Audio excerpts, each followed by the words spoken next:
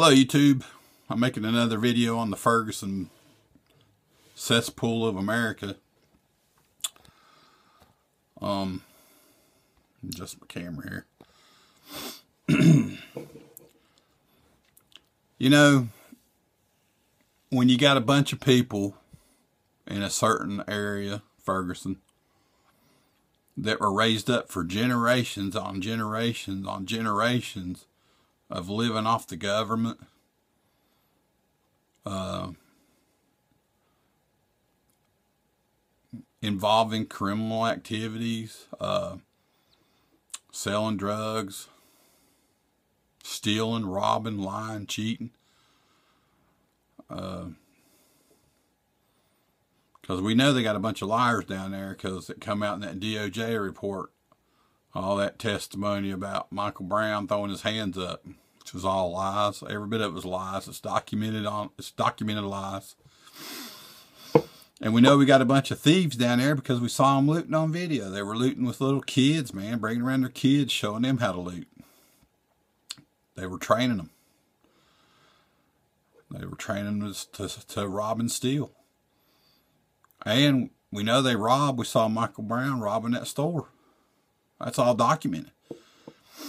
So we got documented liars, documented thieves, documented robberies. And I'm pretty sure, I'm pretty safe in saying there's a lot of drug addicts, a lot of drug dealers, and a lot of alcoholics there too. And probably all kinds of other crime. Probably every crime there is. I know there's murders there. but anyway, what I'm getting at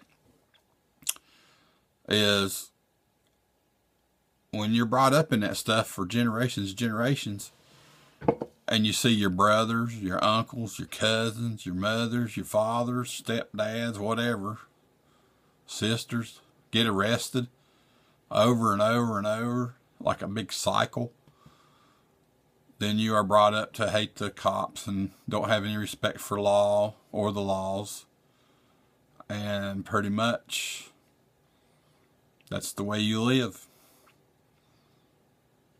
Unlike the people I know, we were all brought up to work for what you get. I worked 31 years. Now I'm retired. Sitting back, going fishing, getting my retirement check, making YouTube videos drinking my Dr. Pepper, peace and quiet. It's just, and I retired at age 50, so there you go. That was my plan, and it worked, and I done it. I worked for every bit, everything I got. I worked my house, cars. So listen, the government's not going to give you an Escalade, man. They're not going to give you an SUV. They're not going to give you a Mercedes-Benz or a BMW or Lexus. They're not going to give you that stuff. They're just going to give you enough where you can survive, man. Like like zombies.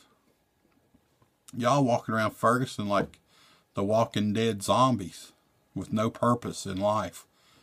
You have no purpose. All you're doing is drawing a check, selling drugs, or stealing or robbing, and breathing our good air. That's it. It's a waste of life, a, useless to society, a burden on society. And I don't blame you, I blame your parents and their parents before them. It's the way you guys were raised. You know? The people that I know and I'm raised up with and family and friends. We never once had a protest over a criminal getting shot trying to kill a police officer. Never once. I mean, crazy. So all I'm saying is y'all have nothing to do. You're a waste of waste of oxygen. And so now you got some kind of calls. So I guess it keeps you busy. But I know it's not everybody down there, but that's plenty, plenty down there. And every community's got people like that, but it's not, I don't know. We got we got people that work, we got more people that work than not work in the community. You know what I mean? And they're not all 20, 19, 20, 21. You know, they're older people that can't work. But anyway, I'd like to see a reporter go down through there next time they have a protest and just ask somebody, hey, what do you do for a living? What kind of work do you do? Or are you in school? Are you in college? You know. anyway, it's just a cesspool down there. Cesspool. About the only thing they got looking forward to is going to prison. Wow. Well, hang in there. See you later.